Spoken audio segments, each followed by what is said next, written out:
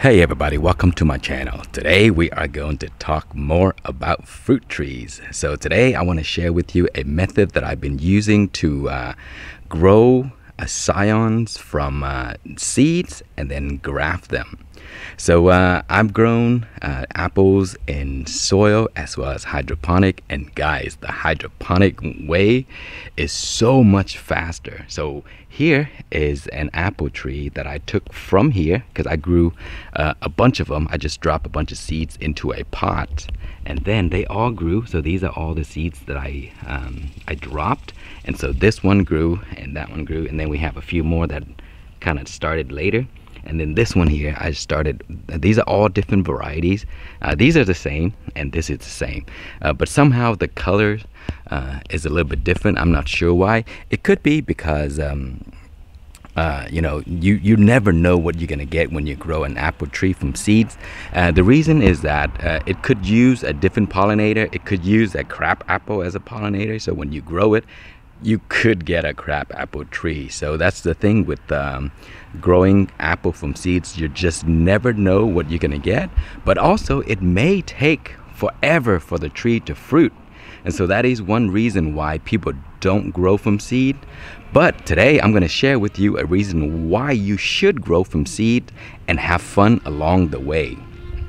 So uh, that is through grafting. And so uh, I've been grafting pears and apples for the past few years, and I've been, you know, have had such great success because uh, of, you know, things that I do here. I use it to practice. And so uh, these here, once it's grown to this size, this is a perfect time to cut this as, to use as scion wood. And so I'm going to show you one that I've done already and uh, you'll be amazed at how fast it grows once you graft it onto a mature tree. Okay so here is my multi-grafted apple tree. And the scion wood that I mentioned earlier is this one right here. You see how big this um, this tree is or this branch is? It is pretty big and as big as the original other grafts that I've done. And this scion wood was taken off of this tree right here. You see this tree here? Look how small that is. So here is the initial cut. So I cut it right there to take the scion wood. You see? The leaves are very much the same. So this is the uh, the tree that I took the wood off to put here. And look at how massive this thing is and um, the thing with doing grafting uh, of uh, varieties that you grow from seed is that you can have a tree already with fruits and stuff like that. You see, I have fruits right here. While you wait for this to grow, because you you're not gonna know how long it's gonna take for these to fruit, and so if you graft it onto a, another tree, then the time that you spend waiting may not be as bad because you may not even remember that you grafted uh, the one that you grew from seed. And then in the meantime, you have all these other apples to enjoy while you wait. So instead of just growing the, the, the seed and then wait many, many years for the tree to become mature and produce, you just graft that uh, piece of the tree that you grew from seed onto another apple tree. That way you have apples already while you wait for this to grow. And so this here, I'm not sure when it's gonna fruit because uh, uh, nothing yet for it this year. But look at how massive the trunk is. You see that? The graft was right here. And now it's, it's becoming part of the tree and it's getting pretty big uh, while the original tree remains pretty small. So I think grafting uh, a, a young tree onto a mature tree helps it grow faster because the mature tree has an established root system. It can take up nutrients and it can spread it around, and then you can put it to uh, the new young grafted tree.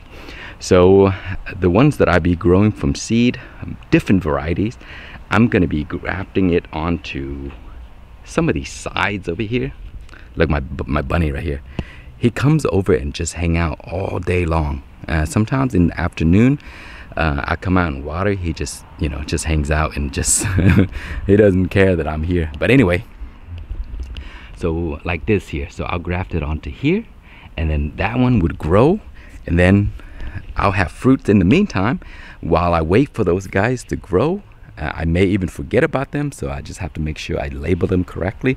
So that is the ideas, guys. So grow your apple tree from seed, uh, grow it in hydroponic. You can speed it up, and then take the scion wood and graft it onto your mature tree.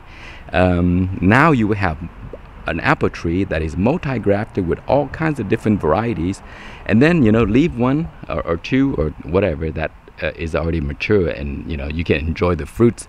In the meantime while you wait for these um, these grafted scions to grow and then you never know what you're going to get as they mentioned because apples could be you know pollinated by many different kinds of apples. And so what you think you're going to get from the seed may be completely something else. So uh, it's the luck is a luck of a draw. And so we'll just have to be surprised by that. So anyway uh, if you want to see more uh, on these you know, uh, grafted trees or branches from seed in the future uh, and see what kind of fruits uh, they will come out as. Uh, just leave a comment and then I will try to make videos in the future covering this subject again and then you we may see the fruits together.